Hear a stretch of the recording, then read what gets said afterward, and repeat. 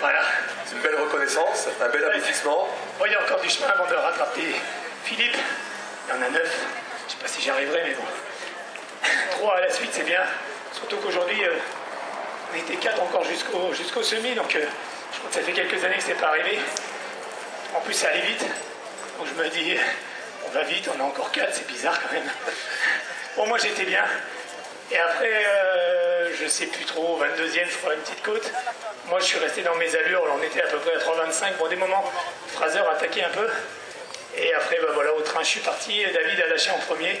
Je crois qu'il a été sage parce que je, je crois que c'est lui qui est deuxième.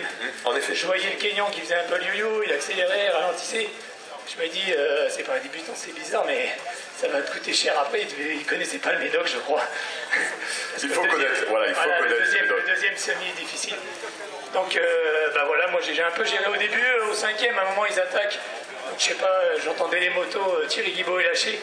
Mais euh, non, j'étais pas lâché, c'était, je, restais dans mes plans de course. Très bien. Thierry, Voilà. je te coupe, pardon. Regarde, oui. on va, eh oui, on va que je, bah, je- je te laisse nous présenter un de tes adversaires privilégiés, on va Voilà, dire. David Antoine, bon, un ami qui, qui a gagné cinq fois ici.